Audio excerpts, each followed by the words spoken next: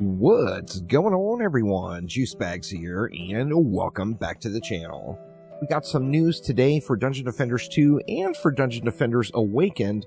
Uh, Dungeon Defenders 2 has a content creator program starting up that scales up on all levels depending on the size of your channel. So if you're a Dungeon Defenders content creator, make sure to get applied to the content creator program. There will be a link to it down in the description below.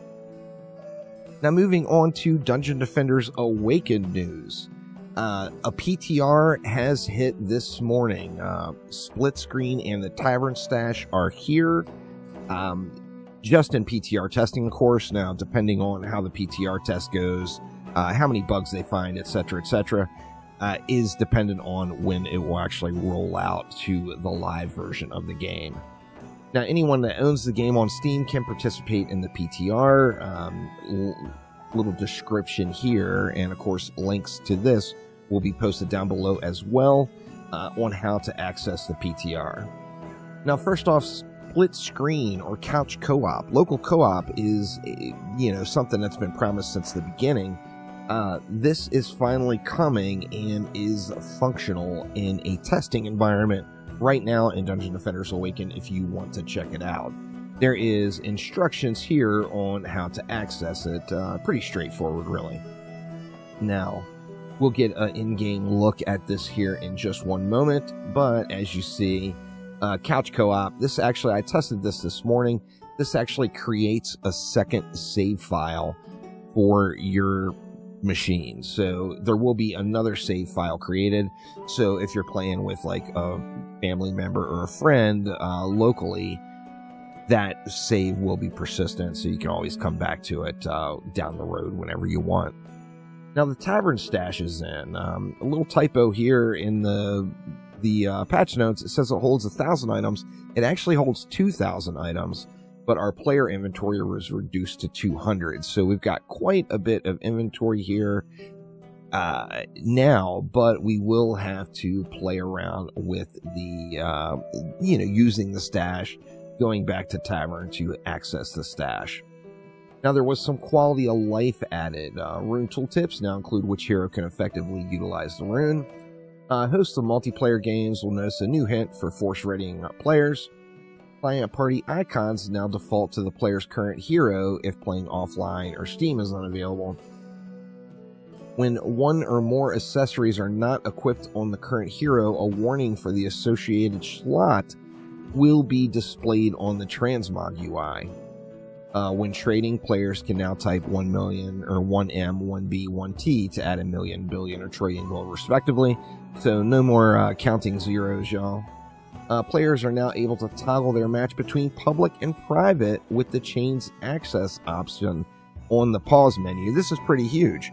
So lots of people like to play public matches, yet they want to build the map themselves.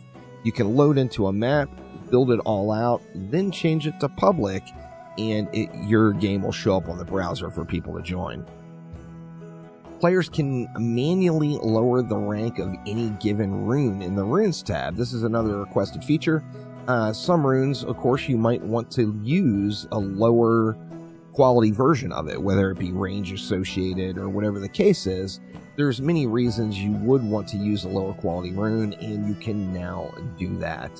And then quite a few different bug fixes throughout the game. Now, one thing I gotta mention, it was teased on the dev stream that this image, the Mesmer, which is floating in the background on the summit fight, could have some importance. Now, we don't know exactly what that is, but since it te- was teased, I'm going to assume that the Mesmer is coming to the game finally.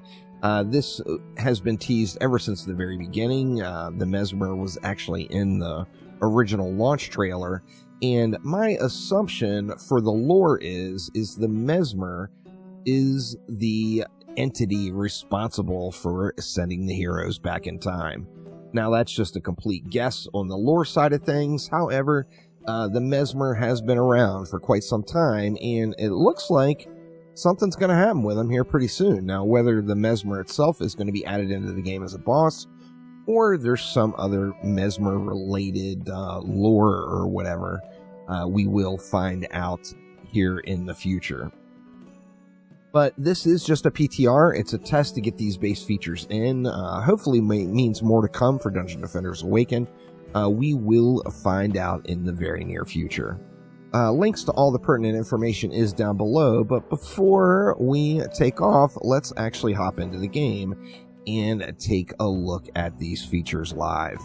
All right, and here we go in game. Now, here is our stash. Now, as I mentioned on the PTR here, the stash is holding 2,000. Uh, on the patch notes, it mentioned 1,000, so I'm not sure. Is it intended to be 1,000 and they're just testing 2,000? Uh, that is quite possible to try to test the limits of the stash. Not sure exactly if it's intended to be 1,000 or 2,000 places in your stash. Now, with that in mind, your regular inventory got lowered to 200, so anything you don't need to carry with you, you're going to want to put in your stash. Uh, this is going to in- increase game performance. Uh, most importantly, it's going to reduce your load times getting into a multiplayer match.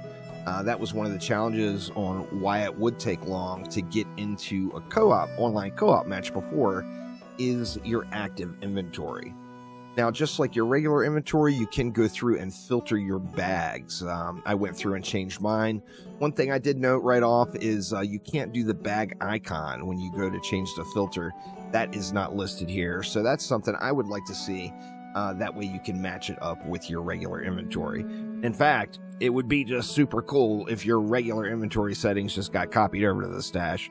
But, you know, it only takes a minute to go through and set up your individual preset filters.